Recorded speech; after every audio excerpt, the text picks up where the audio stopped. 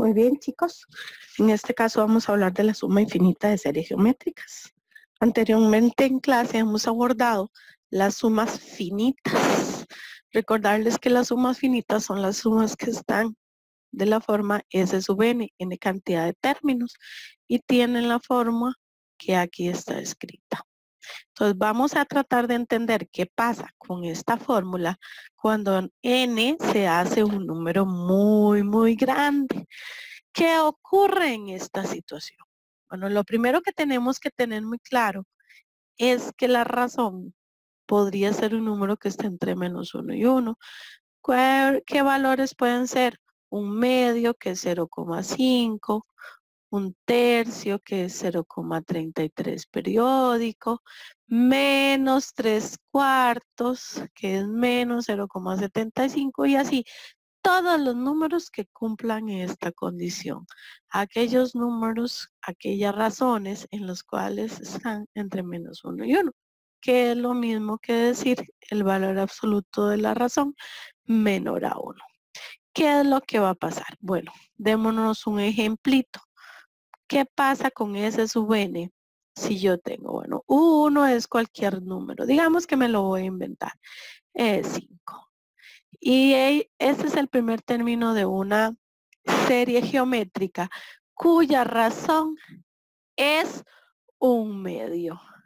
Aquí en este caso la razón es un medio y tiende a ser un número grande, cada vez más grande n tiende a ser un número infinito, es decir, un número grande.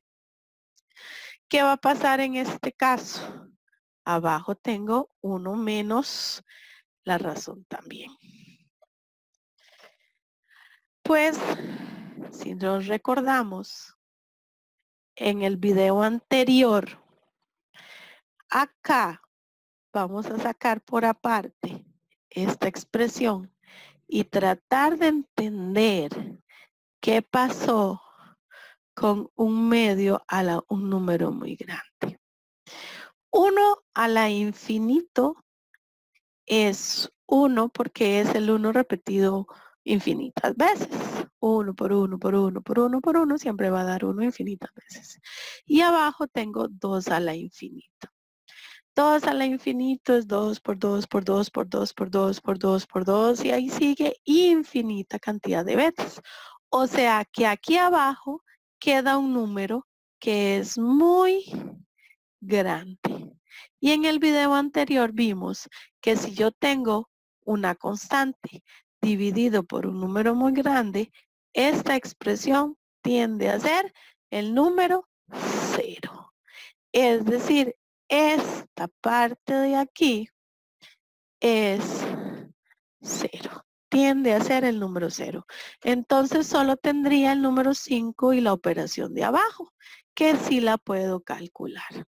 Es decir, Sn, cuando n tiende a ser un número muy grande, U sub 1 se conserva arriba y 1 menos R se conserva abajo y el, esta expresión es cero y como uno, perdón, resta cero, queda uno que multiplica 5, no va a pasar nada.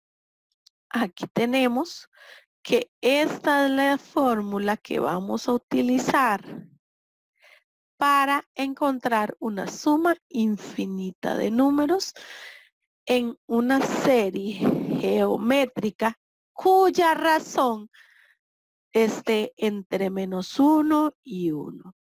¿Y eso qué significa? Eso significa que la serie converge. Converge es que puedo llegar a un resultado, que puedo llegar a encontrar un valor. Y esta sería la formulita que utilizamos, que es la explicada aquí arriba. Tenemos que tener un claro un término que significa diverge. Si la serie converge, sí puedo encontrar un número, puedo encontrar un valor. Pero si la serie diverge, diverge una serie cuando la razón no es un valor que esté entre menos uno y uno.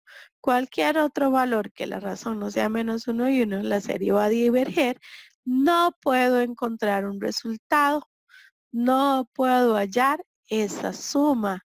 La suma infinita solo la puedo hallar en el caso de que la razón entre menos uno y uno.